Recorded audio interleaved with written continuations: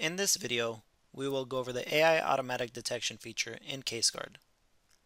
First, let's go ahead and add a file to our project.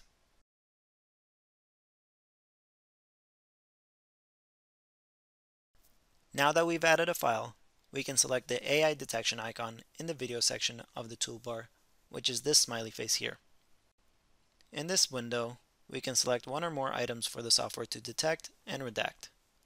Faces and heads will redact just the face of an individual. Screens will redact any screen such as in-car laptops, classroom monitors, or phone screens. License plates.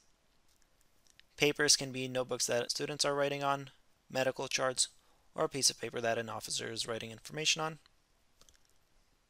People and vehicles will redact the entire person or car. Checks and credit cards are more intended for documents but can be run on video as well. And we also have signatures. I'll go ahead and select faces and license plates. Here we can select the shape and effect for faces. The default shape for faces is ellipse but can always be changed. And for the effects, I will select blur. From this level bar, we can increase or decrease the intensity of the redaction. Right now, we have standard redaction selected, which will redact anything behind the redaction box. The reverse will redact everything but the selected area, and the full frame will redact everything in the frame. We can also add a redaction reason to all the faces being redacted from the drop-down menu or click the plus sign to add a new one if we do not see one that fits our case.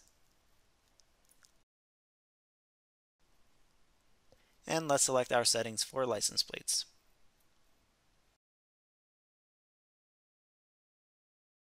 Now we can select to have the software run on the entire file or a selected range. It's best to use the selected range option on longer videos where you only need to run redactions on the first few minutes of the video.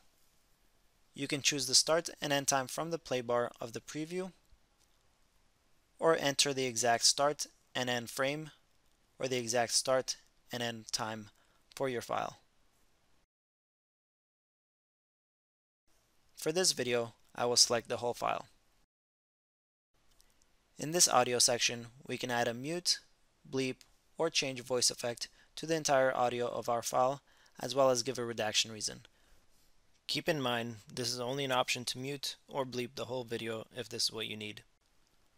For the Classify Results checkbox, you can keep it checked if you need to unredact any person or object.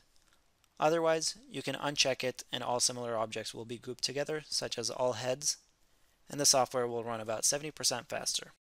You can check this box if your file is a 360 drone footage or 4K 8K video. The confidence percentage is set to 20%, but you can lower this for dark environment videos so that the software can redact more objects. But if you are getting too many false positives, you can always increase this to at least 25% for the software to be more accurate. We also have the option to schedule this task for a later time if it is a larger file and you want to continue working on your machine. We can have it scheduled so that it starts once we leave the office and it will be done by the next morning. We can save these settings as a template so we don't have to go through these steps again for similar files. And apply. The system is now going through the file and detecting all faces and license plates. Let's take a look at our redactions in different view modes. Our default view mode is the edit mode we are currently in. The edit view mode makes our redactions transparent.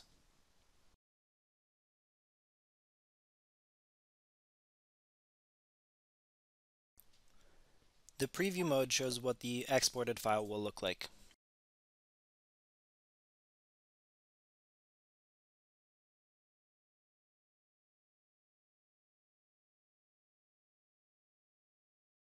Let's go ahead and export our video.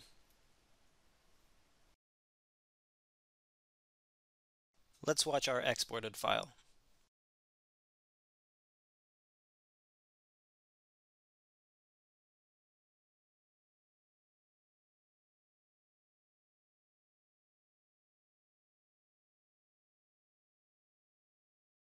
We can also take a look at the exemption log, which has the redaction timestamp, file type, material withheld, as well as a brief explanation and the legal and statutory basis.